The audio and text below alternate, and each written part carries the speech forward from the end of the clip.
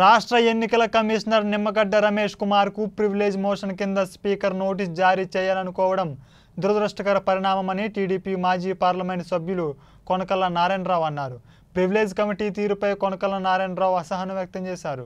రాజ్యాంగాన్ని కాదని సీఎం ఆదేశాల మేరకు స్పీకర్ పనితీరు కనిపిస్తుందన్నారు. ప్రివిలేజ్ కమిటీని కూడా వైసీపీ ప్రభుత్వం తన నియంతృత్వ విధానాలకు వాడుకుంటోంది అన్నారు. రాష్ట్ర ఎన్నికల కమిషనర్ నిమ్మగడ్డ రమేష్ కుమార్కు వ్యతిరేకంగా మంత్రులు పెద్దిరెడ్డి రామచంద్రారెడ్డి బొత్స సత్యనారాయణ ప్రివిలేజ్ కమిటీకి ఫిర్యాదు చేసిందే తడవుగా చర్యలకు ఉపక్రమించడం ఆశ్చర్యం కలిగిస్తోంది అన్నారు.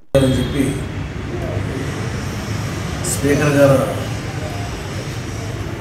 దాని గురించి చర్యలు చేపట్టడం అనేది చాలా చట్ట వ్యతిరేకం గతంలో ఏనాడు కూడా ఇలాంటి సంఘటనలు జరగలేదు.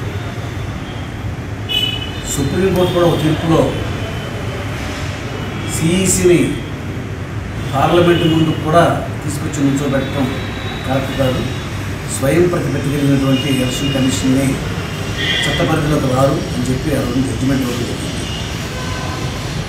ఇవాళ నిమ్మగడ్డ రమేష్ కుమార్ గారి మీద ఎలక్షన్ కమిషన్ మీద మంత్రులు కానీ ఎమ్మెల్యేలు కానీ నోటికి ఇచ్చినట్టుగా ఇష్టం వచ్చినట్టుగా మాట్లాడుతున్నారు వారి మీద చర్యలు చేపట్టాలి చట్టపరంగా.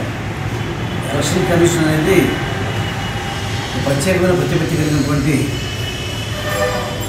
సంస్థ. వాళ్ళు న్యాయస్థానాలకు కూడా అతిథులుగా ఉంటారు. చట్టసభలకు కూడా అతిథులుగా ఉంటారు. ప్రత్యేకమైన అధికారాలు ఉన్నాయి. వారిని గౌరవించి మనం ఎలక్షన్ జరుపుకోవాలి.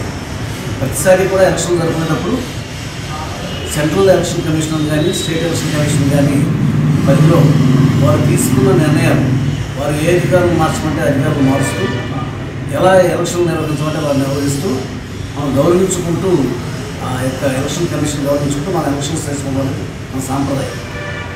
ఇవాళ కొత్త విధానాలకి తెరతెట్టినట్టుగా వైఎస్ఆర్ ప్రభుత్వం వారి మీద దూషణ భూషణ పరం వారిని విమర్శించడం వారు ఏ పని చేసినా కూడా అప్పీల్ కోర్టుకి వెళ్తాం మన సుప్రీంకోర్టులో వారికి చెప్పపెట్టులాగా రమేష్ కుమార్ గారు తీసుకున్న నిర్ణయం కాబట్టి ఆయన చెప్పినట్టుగా ఎలక్షన్ జరిపించమని చెప్పి సుప్రీంకోర్టు రాష్ట్రాన్ని ఆదేశిస్తే ఇవాళ రోజున గత్యంతరం లేక ఎలక్షన్ జరుపుతాము మొట్టమొదటిసారి కోవిడ్ తీవ్రంగా ఉందని చెప్పి ఆయన పోస్ట్ పోన్ చేస్తే ప్రపంచం అందరికీ తెలుసు.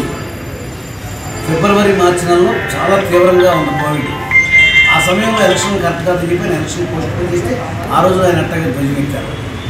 ఇవాళ రోజున కోవిడ్ తగ్గిపోయి దేశంలో ఎన్ని చోట్ల కూడా